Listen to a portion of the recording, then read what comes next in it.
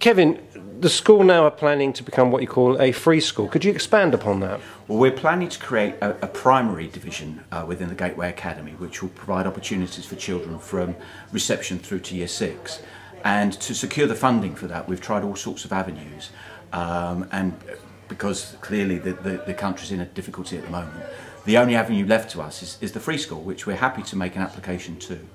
But a free school is you're eligible for a free school if there is demand from um, the, the people who are going to use it essentially within the local community. And what we're doing at the moment is communicating with our parents and, and members of the of the wider community, perhaps who have younger children who are looking for something different in terms of primary education and seeing whether they'd be interested in putting their names down on a list for our free school.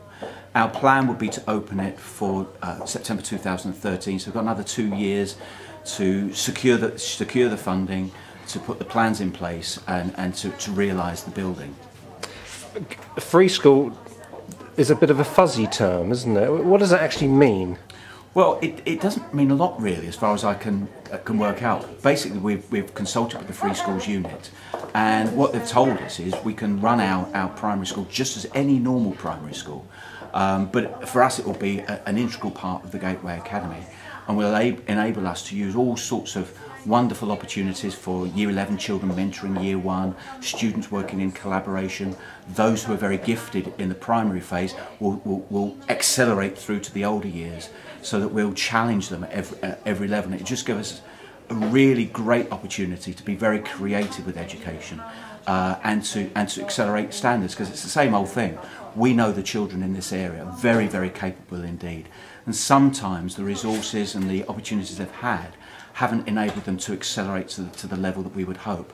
And with um, the success we've had at the Gateway and the success we would anticipate we would have within a primary context, we would hope to be able to really challenge those children, provide them with some rich and wonderful experiences and move them on at a pace. But you're treading on the toes of the local education authority and their um, role and partnership with the primary schools in Tilbury, aren't you? Well, it was the local education authority um, with Robert McCulloch Graham, the previous um, head of children's services, who originally put this idea together, and it was their idea that we that we relocate one of the local primary schools onto our site. Now it's moved beyond that now into a free school, but the local authority also uh, would say that by 2015 Tilbury is going to need another primary school. So this is a way of securing that. And at no cost to the local authority, the cost will come from central government. So it's a way of bringing new resource into the local authority. A few weeks ago, Michael Gove came to visit the school. What it seemed like a very successful afternoon, a seamless afternoon. Um, what feedback have you got since then? Well, we're, we're continuing to discuss our plans with, with central government, with the YPLA and the Free Schools Unit.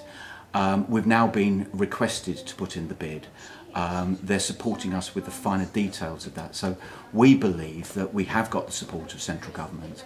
And whilst it's not just a matter of, of, of putting in a bid, it's got to be an appropriate bid and it's got to be rigorously um, thought through and, and detailed.